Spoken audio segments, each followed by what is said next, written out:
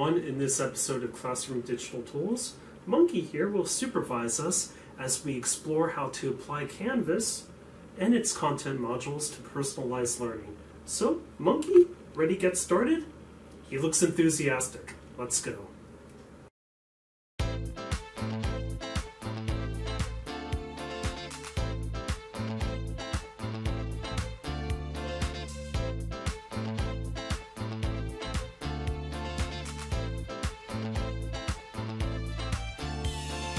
Canvas enables teachers to develop powerful personalized learning content within the courses that they have established. To gain a better understanding of how this personalized learning content functions, we'll take a quick tour of a couple courses that have already been developed. Clicking on this course right here that was shared with me earlier, Digital Learning Coaches, you can see on the homepage they have added various quick links Going to modules, this is the actual content of the course. And you can require students to complete all items in order to completely fulfill one of these pathways. Sometimes these pathways are called modules. So as you can tell from this example, this particular module has numerous assignments within it.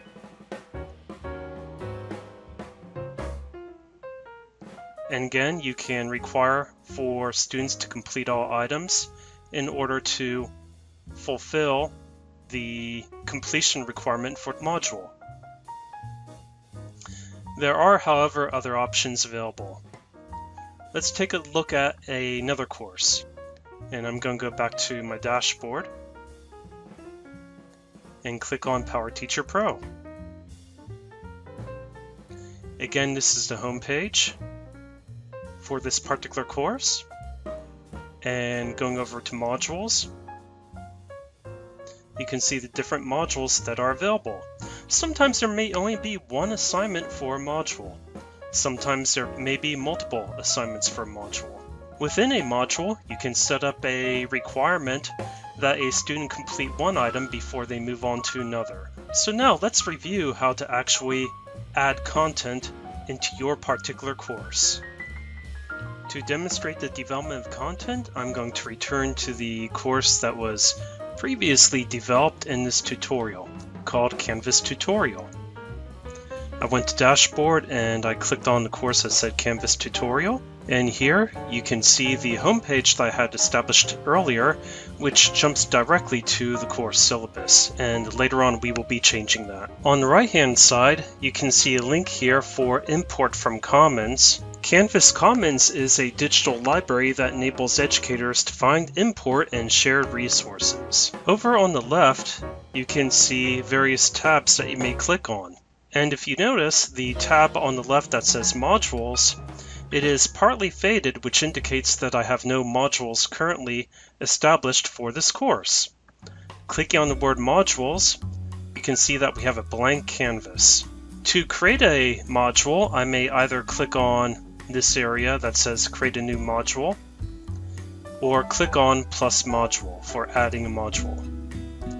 Clicking on this, I can go ahead and enter in a module name. And for this example, I will create Introduction to Literature. After typing in the module name, I have the option of locking the module in until a specific date, but I'm going to not do that for this example, and I will click on Add Module. To make changes on the module, I can either choose to publish it, which I cannot do since there are no assignments attached. I can click on the plus icon here to add an item to the module Introduction to Literature. I can click on the gear shift icon to edit the title of the module, move it, delete it, or even share to Canvas Commons. In order to add content to the module, after clicking on the plus sign, I can choose to add an assignment, quiz, file, content page, discussion, external URL, external tool. But in order to do this, I first need to actually create the assignment. So I'm going to click on cancel, And I will click on the tab on left hand side that says Assignments. I next click on the plus sign to the right of the word Assignments. From here I can click on More Options and I can create an assignment name. For this example, I will write compose an essay analyzing the effect of literature upon society. In the text box below the title, I add further directions. Scrolling down, I can assign the number of possible points. And let's say this will be 100. I choose the assignment group, display grade as percentage, complete, incomplete, and there are other options, points, letter grade, GPA scale, or not graded. I will leave it as percentage. I can select that I do not want this to count towards final grade. Submission type, let's say it will be online. We can choose who to assign it to. We can establish a due date. So clicking on the calendar icon, I'm going to make the due date November 3rd.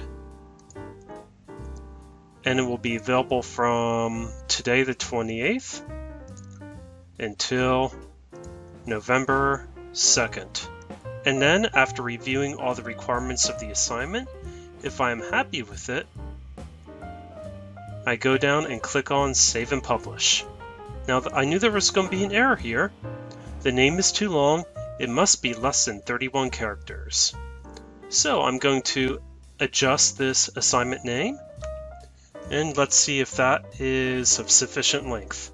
Oh, notice that the lock date cannot be before the due date. The due date is November 3rd, so let's change that. So this demonstrates that if you make an error, it will let you know so that you have opportunity to make adjustments to the assignment. I'm going to require peer reviews, and peer reviews will be automatically assigned, and make the peer reviews appear anonymously. Now if I'm happy, I will go ahead and save this. And I do that by clicking on the link at the bottom that says Save and Publish. And there we go! The assignment is now published. If I ever change my mind about this assignment, I can always unpublish it. Towards the bottom of this page is a tab that says plus rubric for adding a rubric. In this field, you will want to change the title of the rubric to reflect the assignment, change the total points to reflect the point value of the assignment. You can click on add criteria or criterion and type it in. In this case, I'm going to type in grammar and I choose the value of that particular criteria. You change things by clicking on the pencil icon, change the number of points that it is worth, update the rating. When you are happy with your new criteria, click on OK. If you want to use a pre-existing outcome for the rubric, you can always click on Find Outcome in this case, this is one I had previously imported regarding literacy. However, I'm going to click on cancel rather than import. To change this first criterion, click on it and adjust the title, use of evidence, and click on OK. To adjust the rating scale, click on a plus, enter in the number of points that the student will achieved, enter in the rating title,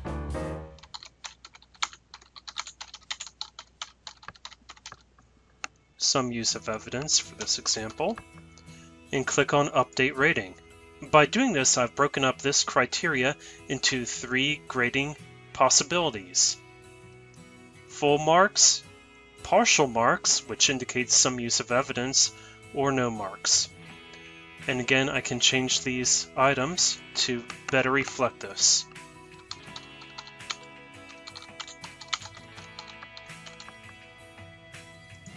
Further down on the screen, I have opportunity to click on this option regarding using the rubric for assignment grading. And then I click on tab that says create rubric. And the rubric has now been attached. Returning to the Modules section, I click on the tab that says Modules. Next to Introduction for Literature, I click on the plus sign. And I add the assignment. I do that by highlighting the assignment and clicking on Add Item. Let's say that I want to add other content to this module, such as a discussion. On left hand side, I click on tab that says Discussions. I then click on plus discussion to create one. I enter in a topic title. After adding in the title, enter in directions for the discussion. You may add attachments. You can allow discussion participants to reply in manner that creates a threaded discussion. You can make this a graded assignment. And you can click on the checkbox indicating that users must post before they see other people's replies. This is an important option to select to minimize the frequency with which discussion participants borrow ideas from each other. And you can enable allow liking. Since I chose that this discussion will be a graded assignment, I entered in the number of possible points. And of course I can change the manner in which the grading is reflected. I will include this assignment's grades when syncing to PowerTeacher Pro. I will not select peer reviews. This is for everyone. The due date will be, say, October 31st. It will be assigned from today until October 31st. And then I click on Save and Publish.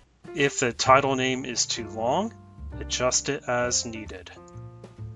After making necessary changes and clicking on Save and Publish, you will see that the graded discussion is now available. Returning to the Modules tab, I will click on the plus sign next to Introduction to Literature, choose Discussion, choose Importance of Literature, and click on Add Item. And I do have the option of indenting.